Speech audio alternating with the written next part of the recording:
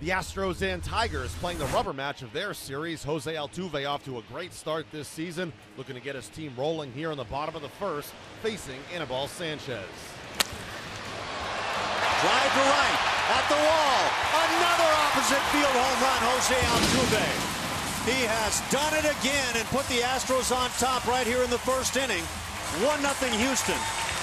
Little man's got some pop, and he's looking out at Miguel Cabrera right now saying, I see you.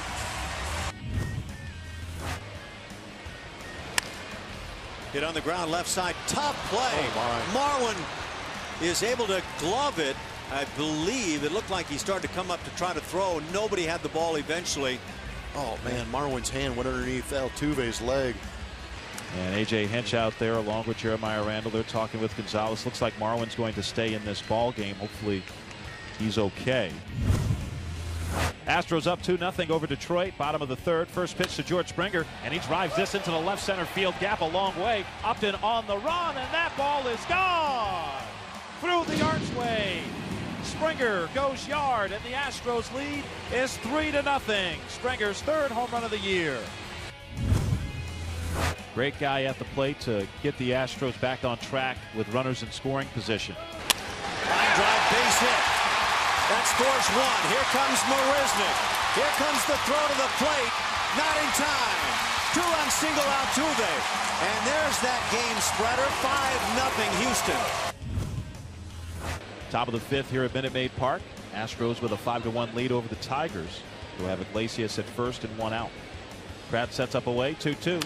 And that's drilled deep to left field. Ball is hooking, but it is well fair and into the Landry's Crawford boxes for a two-run home run for Ian Kinsler. And the Tigers get a little closer. It's now 5 to 3 Astros on Kinsler's fourth home run of the year.